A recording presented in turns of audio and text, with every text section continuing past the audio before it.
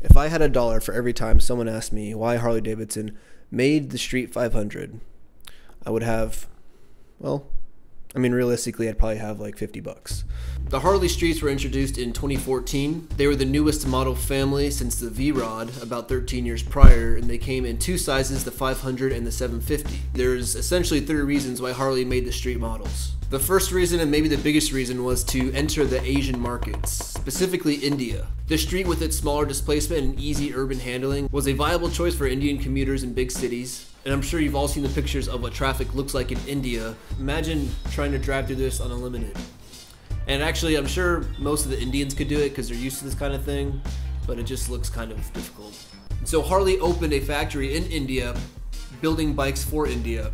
Just for anyone who still thinks that US bikes are still built in India, they are not. And it's honestly one of the smartest things a business can do is tap into the Indian market. India has the second largest population in the world, second to China. Its GDP has quadrupled in the last 15 years, and with a population that size seeing discretionary income become disposable income, a manufacturer who can tap into that market could make a lot of money. With that said, Harley Davidson wasn't the only manufacturer looking to flood the Indian market. Most recently, the Czech-made motorcycle company Jawa was licensed by an Indian manufacturer Mahindra and Mahindra, and they started reintroducing the Jawa motorcycles.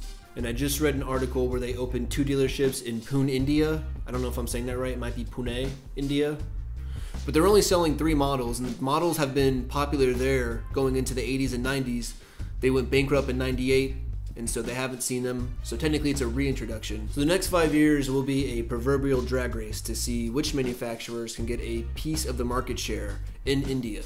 Bringing it back to the States for number two is learning to ride. Before the streets came out, Harley Davidson's Rider's Edge taught people how to ride on the Buell Blast. The problem was production on the Buell Blast ended in 2009. And for people trying to work a clutch, learning how to turn, uh, learning how to shift, they were being dropped all the times. They were just people just really beat the shit out of these bikes. So for 2014, every Harley that had the Rider's Edge program was using really beat up, half decade old Buell Blast. And because Buell parted ways with Harley in 09, it was a pain in the ass for the technicians to get parts, to work on them, and it was just a huge headache. So when the Streets came out in 2014, they rebranded Rider's Edge and called it the Riding Academy. And instead of the Buell Blast, they used the Street 500 outfitted with crash bars, so they were basically indestructible. This also allowed new riders to ease into the model families. At our dealership, we track our conversion rate, which is essentially how many graduates go on to buy a Harley Davidson. And of that number, the majority of them either buy a street, which they learned on, or a Sportster.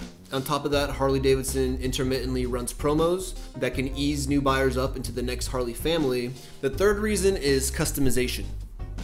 Ow. In 2015, Harley introduced, or it might have been late 2014, one of those, Harley introduced the Custom Kings build off. Participating Harley Davidson dealerships would have carte blanche to do whatever they want to do in terms of customization to a Street 500 or a Street 750. The only rule was the budget was 10 grand and you had to turn in an invoice showing that you didn't go over 10 grand and we saw some really badass custom bikes. The premise was for a dealership to make a four man team, two techs, someone from marketing, and someone from service to kind of run the whole thing. The dealership that I worked at at the time drew up sort of a Euro bobber style, and our bike actually won regionals, which is, I think, all Florida Harley Davidsons and a couple in Georgia. But as soon as we went to the States, it was impossible. People were building really astounding bikes. Some might say a little too astounding. And I still have my suspicions. How did that bike only cost 10 grand to make? Yellowstone Harley. You guys won the entire thing. Wait, did they win the entire thing? Yeah, they won the entire thing. At any rate, it really showed people that you could literally sit down with a pen and a pad and draw your dream bike, and you could probably build it on the street. Any style, any color. And a lot of dealerships were now familiar with building these crazy builds because they participated in the Custom Kings. And a couple years later, Harley Davidson released their own customized bike, the Street Rod. And I'll throw this in as an honorary reason why Harley built the street. It looked like they were trying to reach the younger demographic, which is a pretty hard thing for Harley to do for multiple reasons. If you remember the commercials when they first released them, it was like a dark cityscape with a couple millennials running around, probably drinking craft beers with an edgy version of Come Together playing.